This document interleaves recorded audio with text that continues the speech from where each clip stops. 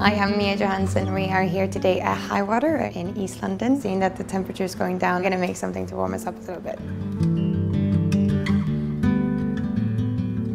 I'm going to start off by using cognac, orange curacao, which is an orange liqueur, and uh, creme de fig, a fig liqueur, honey to, to get that round, thick body absinthe.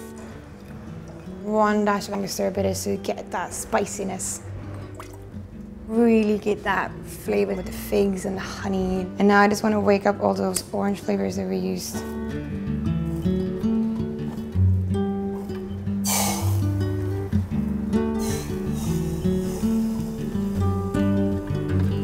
So that is the West Wind.